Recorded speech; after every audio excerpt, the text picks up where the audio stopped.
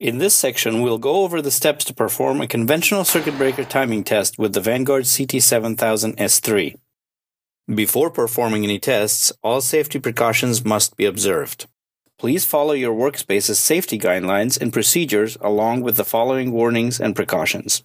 Please make sure that all circuit breakers being tested are offline and fully isolated.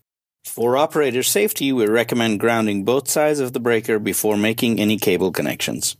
Confirm that all cables are connected properly. Lastly, do not remove any test leads during testing. We'll be making cable connections per the connection diagram shown here. First, start by connecting the CT7000S3's ground terminal to the substation ground. Now, connect the contact and ground cables for each phase being tested as shown here. Next, we will connect the digital transducer to the CT7000S3 as shown here.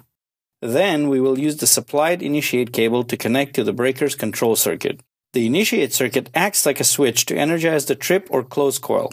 In this illustration, the initiate circuit will connect terminal 5, which is the positive DC source, to terminal 7 of the circuit breaker closed circuit. On the trip circuit, the initiate circuit will connect the positive DC supply to terminal 9 of the trip circuit. Once you have made all cable connections, remove the ground cable from one side of the breaker.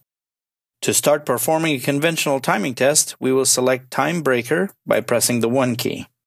Now we will press the 1 key to select Time Dry Contacts. On this screen, we are going to select whether there is an insertion resistor or not, and for this example, we will press 1 for No. On this screen, we will select the timing window. For this example, we will use a 1 second timing window by pressing the 1 key. Now we will select the trigger mode by pressing 1 for internal trigger. On this screen, we will select the type of test to be performed. In this case, we will press 1 to select an open test. Now, hold down the arm switch and then press the start key to start performing the test. Continue holding down the arm switch until testing is complete. Once testing is finished, we will be returned to the main menu. Once we've performed a test, we can print the test results to the unit's built-in thermal printer. To print the test results, select Get Results by pressing the 2 key. We are now presented with multiple options for printing the test results. We're going to select Plot Full Chart by pressing the 2 key. Now press the 1 key to select Thermal Printer. And now the test results are going to be printed on the unit's thermal printer. Once printing is completed, you will be returned to the main menu. Next, we will take a closer look at the test results. Here we have a sample printout of an open test shot. The CT7000S3's frequency setting is shown in the header. The frequency value is used to convert the contact time from milliseconds to cycles. Here we can see the date and time the test was performed. This header section shows relevant test information for the test record. This information is entered by the user before performing the test. The test type is shown in this section. In this case, we can see that the results are from an open test. The contact times are shown here in milliseconds. The equivalent times in cycles are shown in the cycle column. The measured contact bounce duration is listed here in milliseconds.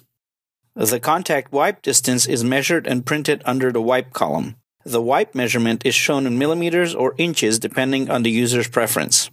The delta time is shown here. This is the difference between the fastest and slowest contact time. The travel analysis for transducer 1 is shown here. The analysis comprises the breaker stroke, contact velocity, contact over travel, and contact bounce back. They can be displayed in either English or metric units. In order for the CT7000S3 to calculate the contact velocity through the arc zone, the user must first define the two points on the travel curve. The two analysis points to be used are defined as AP1 and AP2.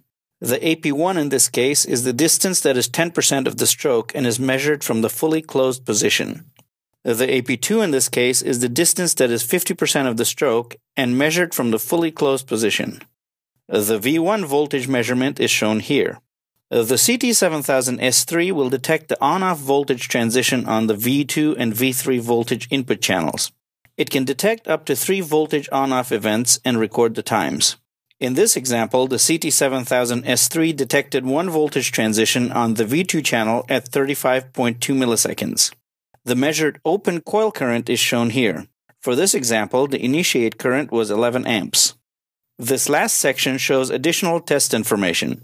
We can see that the shot duration was 1 second, there was no insertion resistor in the circuit breaker under test, and the trigger mode was set for internal trigger.